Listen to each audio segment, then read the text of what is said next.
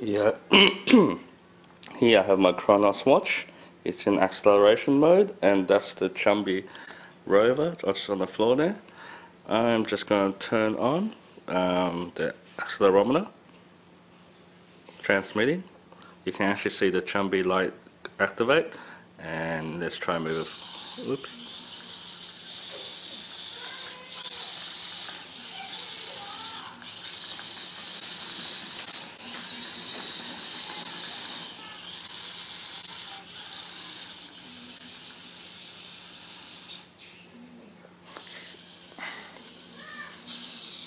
The blinking LED shows the status and on my controls here I've got a reset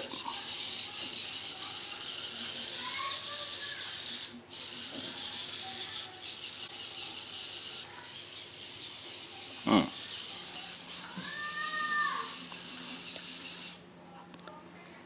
As you can see from the blinking LED, it's actually lost connectivity with the watch.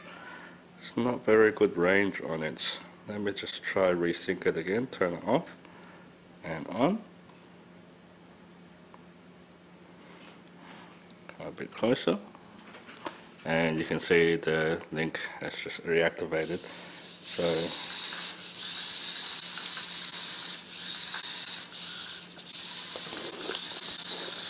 I'll just show the control from the watch.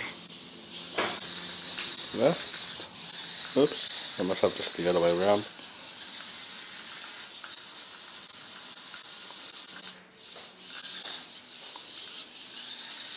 Very tight. Rotate. Open push buttons on the on the watch. Rotate the other way and that's reset.